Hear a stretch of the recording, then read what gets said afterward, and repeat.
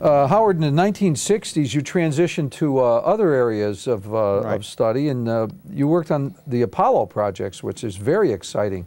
Can you tell us a little bit about your experiences and the type of things you did on the Apollo projects? Well, yes, So there was a, within the same group, there were three fellows at the lab who developed a new way of detecting charged particle, high energy charged particles, and we don't need to talk about how they did that. But uh, they were interested in such things as cosmic rays and uh, became involved in the Apollo program. And actually, through high magnetic fields, I ended up working with them. That's a complicated story, but uh, we received first lunar soils and then lunar rocks, and we looked at the cosmic ray exposures and the stirring up of the moon's surface by making studies on those. And then we actually also put some experiments. We had one on Apollo 16 and one on Apollo 17 that were that we actually built, GE built, and we put them up there. We also did some work. Uh, the the Surveyor had been put up there, and had been there a couple of years when Apollo 12 landed at the same spot, and we did some studies, cosmic ray studies again on some of the parts from the Surveyor.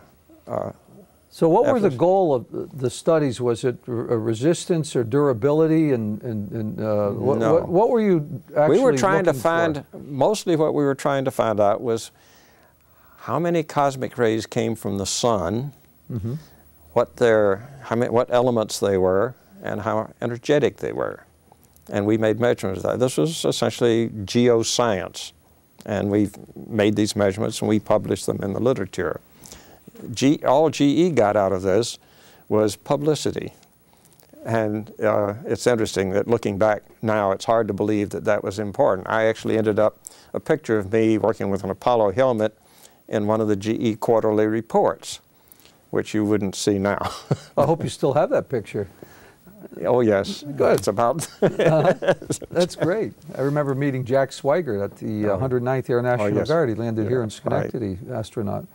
Um, you also worked, I was told, I mean, you could tell me, uh, on biological effects on the a- astronauts themselves. Is that air quality, or what was what was that all about? how did you do that? well, Well, I'll I have you. my ways. okay.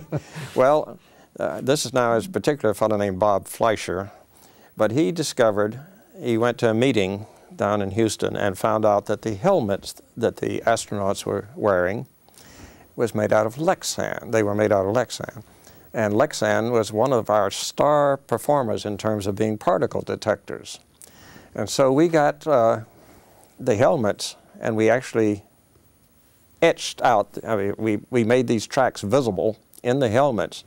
And one time Bob Fleischer was down giving a lecture to the astronauts and he showed them this you could see exactly where these particles had come in and gone out. He said, now we know what's going through the head of the astronauts. And they didn't think that was very funny. well, it is. I hope they gave you a sou- souvenir helmet with your name on it on that project. no, but... it Uh, would have been nice. Yes, that would have been nice. No, I, they ended up in the Smithsonian. Uh-huh. Uh,